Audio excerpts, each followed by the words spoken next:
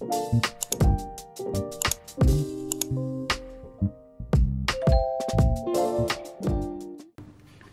өнөдөр гадуур зугаалах гэж байна. Тэгэд ийм хувц өмссөн. Ийм готл өмссөн.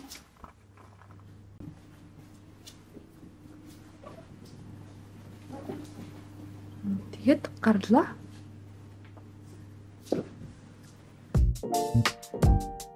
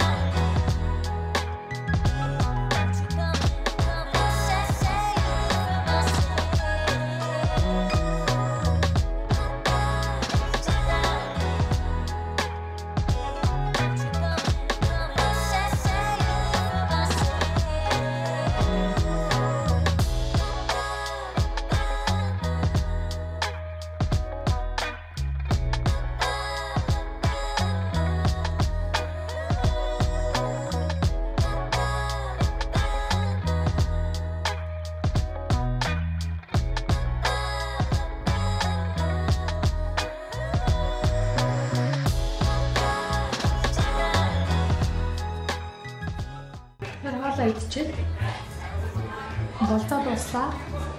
Тэгээд нөлөөгөө явъя.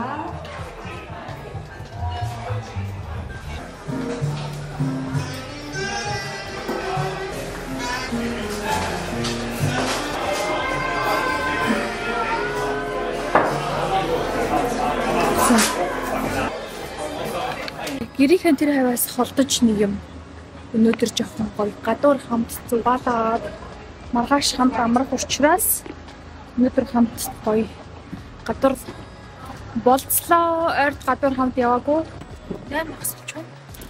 Тэгээ одоо гэртээ харъя да.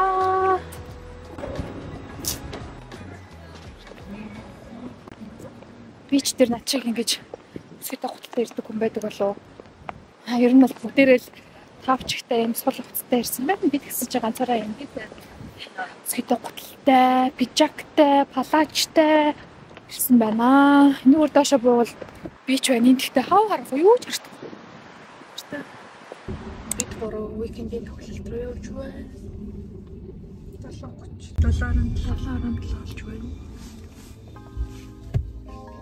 Ийм баг бүрэлдэхүүнтэйгээр өнөөдрийн тоглолт тоглолт өнөөдрийн тоглолт руу явж байна да. Ямар болохыг бүү мэд. Мартаж такси цус явж байна. Анхны тоглолт уу? Анхны дэлхийн одын тоглолт. Тэдний дэрснээс хойш болж байгаа хоёр дахь тоглолт. Эхнийх нь Сриёша, дараачих нь Вик. Аа, нэг нэг ананарт үзсэн. Ананартай үзсэн.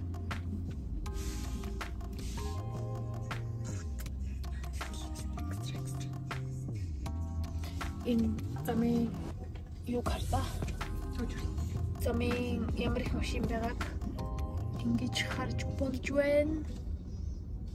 Ийм байдаггүй. Энд чи нөгөө подкаст кинодаа зарж байгаа шиг байна те. Аа тийм үү шүү дээ. Юу нь байна уу? Starboy юм байна уу? After hours. Starboy гэж хаана?